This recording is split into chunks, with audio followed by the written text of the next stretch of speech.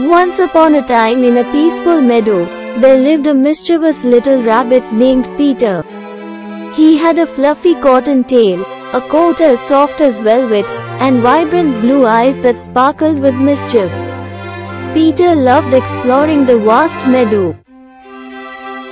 With his siblings, Flopsy, Mopsy, and Cottontail.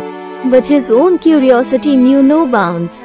He always found himself venturing into Mr. McGregor's lush vegetable garden. Mr. McGregor was a grumpy old man who despised rabbits and their munch. In habits, he had set traps and laid snares all around his garden, hoping to catch and scare away these pesky thieves. But Peter remained undeterred, always on the lookout for his favorite treats, fresh, crisp carrots. One bright sunny morning, as the dew settled on the meadow, Peter's adventurous spirit led him to the forbidden garden. He hopped past the towering sunflowers and blooming hydrangeas until he came upon the most delicious sight, a row of succulent straw berries glittering in the sunlight. Unable to resist the delectable temptation, Peter leaped into the strawberry patch and began filling his little paws with the juicy fruits. He was so engrossed in his feast that he failed to notice T.H. A shadow looming over him. Suddenly, the sound of rustling leaves and snapping twigs caught his attention.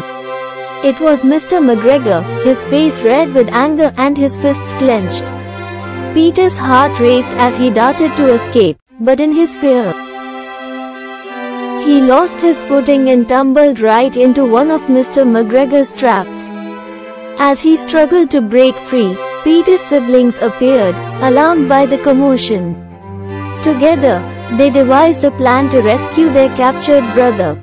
Mopsy Skillful Y chewed through the ropes while Flopsy stood guard, keeping an eye on Mr. McGregor. Just as Peter was about to give up, his siblings set him free.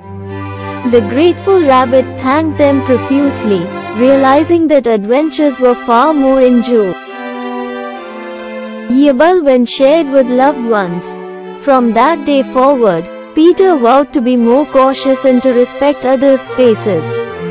He discovered that there were abundant fields and meadows where they could all roam and munch to their heart's content. ENT. And so, Peter Rabbit learned a valuable lesson about curiosity, mischief, and the importance of family, leaving behind his days of raiding Mr. McGregor's garden and embracing a peaceful life filled with love and adventure.